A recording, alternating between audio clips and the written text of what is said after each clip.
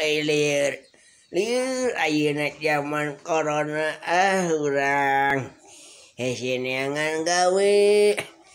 Nyumponan pangabutuh aduh liur liur liur pusing pusing eh.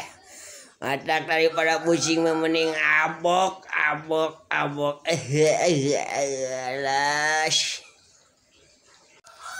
Aduhnya jalma zaman Ayeuna rupa-rupa pisan. Kegubaran mengatasi masalah kapusing kalieur teh kala kalumpat teh karena narkoba. Aduh padahal mah eta teh hal anu dilarang ku agama temenang nitip ke para pemuda generasi muda muslim Indonesia. Jauhi narkoba. Sabab masa muda.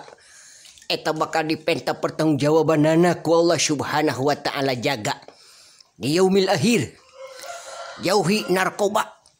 Usian masa muda dengan karya-karya nyata dengan prestasi yang bermanfaat untuk nusa bangsa dan agama. Kadek sekali deh genggam masa muda dengan hal-hal yang positif yang baik. Jauhi narkoba. Hindari hal-hal yang negatif